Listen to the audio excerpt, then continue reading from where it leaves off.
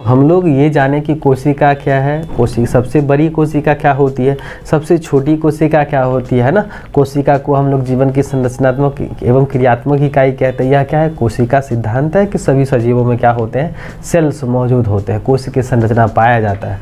और यही सिद्धांत जो है आपके सेलिडन और स्वान नाम के वैज्ञानिक ने कहा था, दिया था।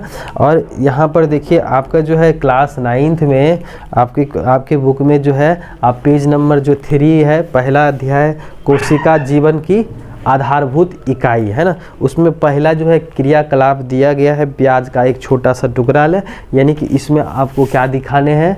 प्याज के सेल्स दिखाने हैं कि प्याज की कोशिका जो है किस तरह की होती है। तो आप यहाँ पर देखिए, प्याज की जो झिल्ली है, वो इस तरह से क्या है?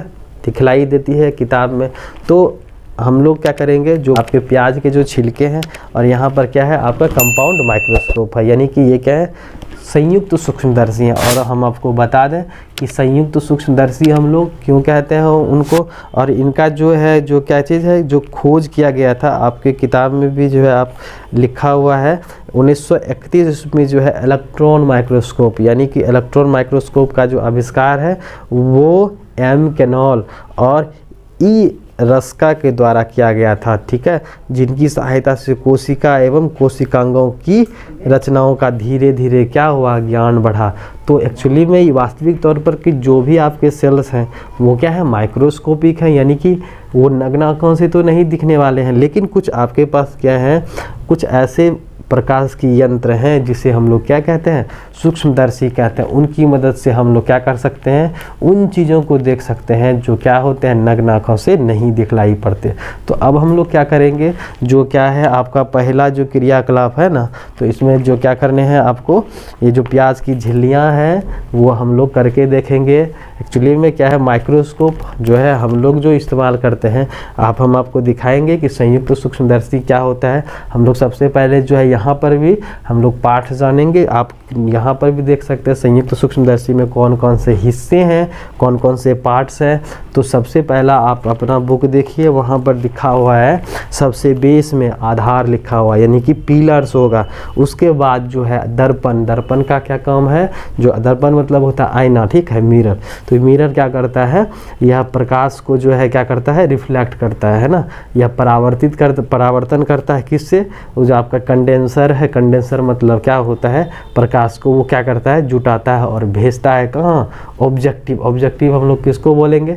जहाँ पर क्या रखा हुआ है? हम लोगों का मटेरियल रखा रहता है, ठीक है? तो ऑब्जेक्टिव साइड जोन लेंस रहेगा ना, उसको हम लोग क्या कहेंगे? ऑब्जेक्टिव लेंस कहेंगे, ठीक है? वस्तु की तरफ़ जिधर रहेगा, जो रहेगा लेंस और जो आपका आँख की तरफ़ रहेगा, जिसको हम लोग देखते हैं, है ना? कभी कभी जो है ये बाइनोकुलर्स होते हैं, दोनों आँख में जो है ना, इस तरह का जो है ट्यूब रहता है, जिसको यहाँ आप देखिए नेत्रिका लेंस लिखा हुआ है, ठीक है?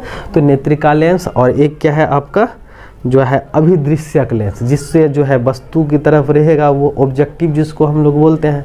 तो उसी जो आपका मिरर है ना मिरर क्या करता है? कंडेंसर से अभिदृश्यक लेंस से होते हुए नेत्रिका लेंस तक कौन पहुंचाता है? प्रकाश। अब जब तक प्रकाश नहीं आएगा तो हम लोग वस्तु को देख पाएँगे, नहीं देख पाएँगे। तो इसीलिए जो है आपका मिरर जो है वह क्या करता है? अभिदृश्यक लेंस से होते हुए आपका नेत्रिका लेंस तक क्या करता है? प्रकाश को भेजता है। तो इसके लिए आपके दर्पण है।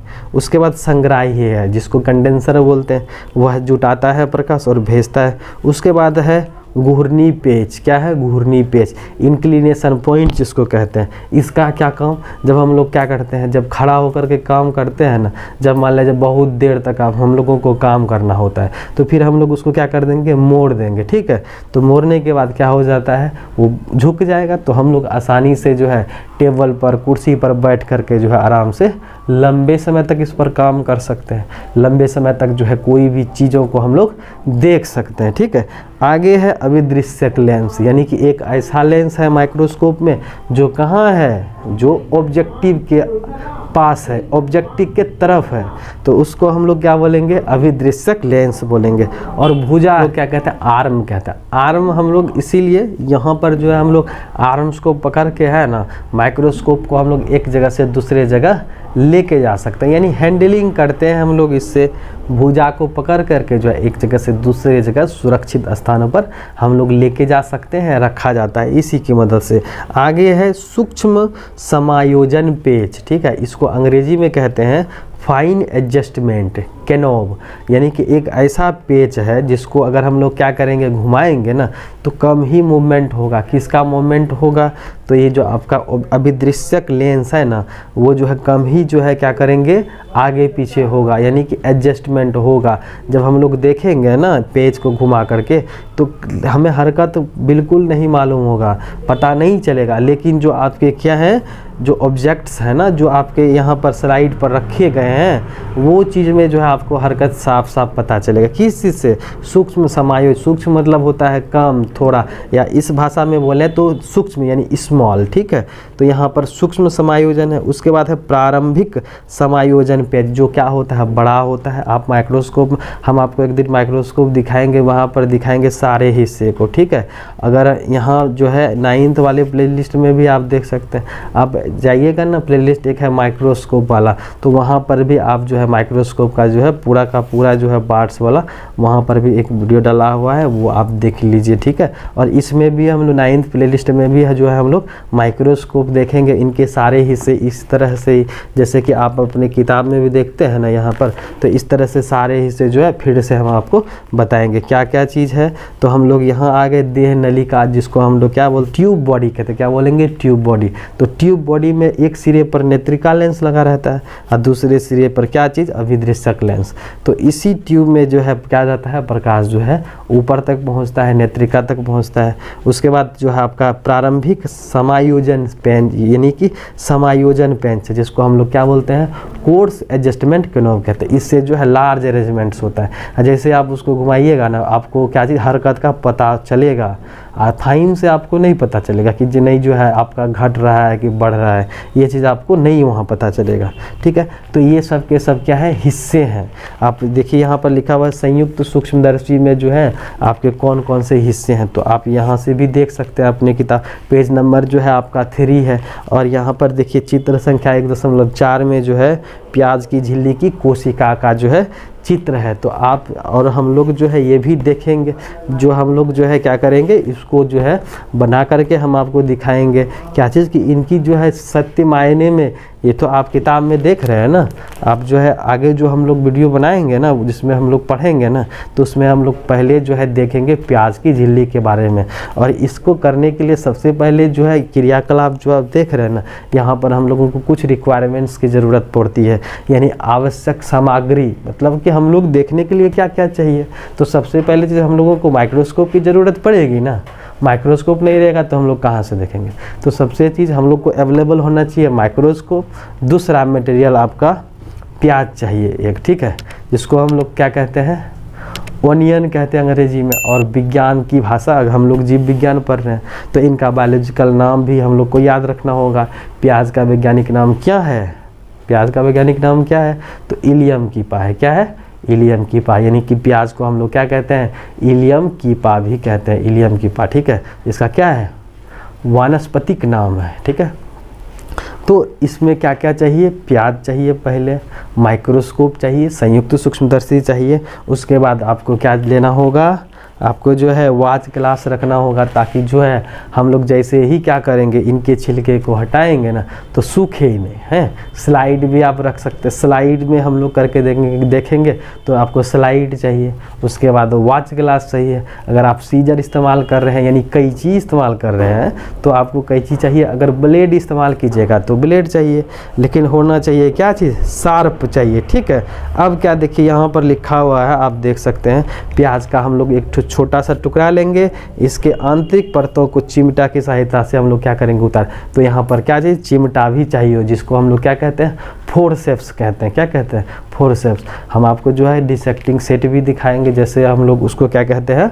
बायोलॉजी बॉक्स कहते हैं। तो उसमें जितना सारा जो पार्ट्स है, जितना सारा जो रिक्वायरमेंट्स है आपका जो है, जिसको हम लोग औज़ार कहते हैं तो वो हम लोग जो है देखेंगे, आगे भी देखेंगे।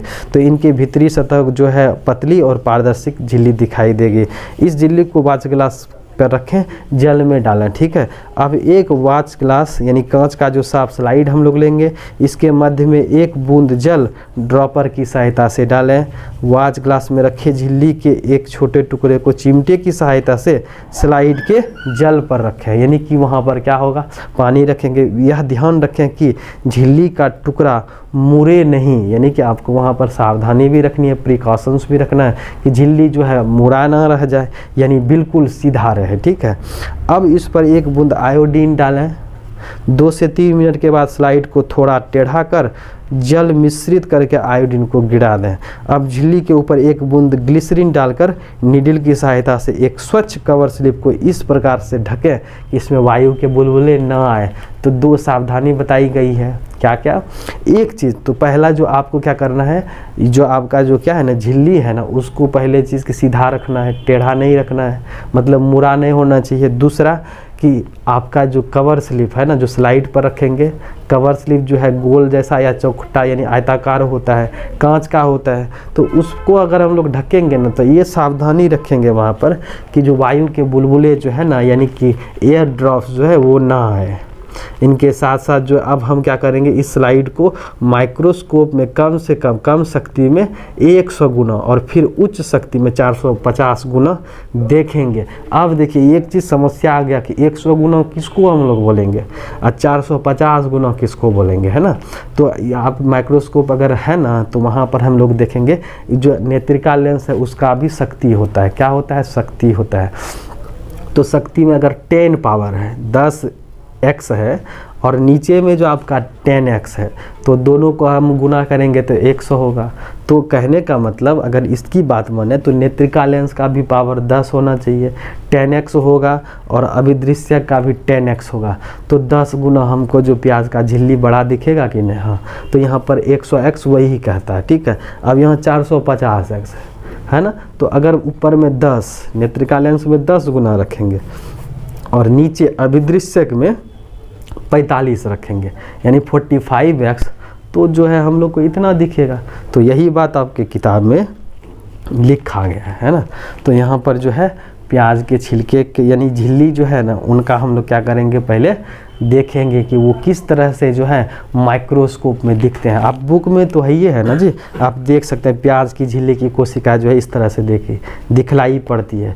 लेकिन हम लोग देखेंगे माइक्रोस्कोप में किससे? माइक्रोस्कोप की सहायता से। जितने सारे आपके क्रियाकलाप है ना तो पहला क्रियाकलाप हम लोग कर लेंगे, ठीक है? अगले वीडियो में जो हम लोग ये वाला क्रियाकलाप देख लेंगे। चूँकि हम लोग ये सब हमने पढ़ लिया है ना? ये हम लोग पढ़ लिए अब हम लोग खाली जो माइक्रोस्कोप लेंगे प्याज लेंगे और उसके बाद जो है कवर स्लिप आपका जो है फोरसेप्स निडिल ये सब चीज़ लेकर के जो है स्टेन लेकर के हम लोग क्या करेंगे? सबसे पहले जो है इनकी झिल्लियों को देखेंगे, जो कि चैप्टर नंबर एक पेज नंबर थ्री नाम है कोशिका जीवन की आधारभूत इकाई। इसमें पहला क्रियाकलाप है, ये हम लोग देखेंगे, ठीक?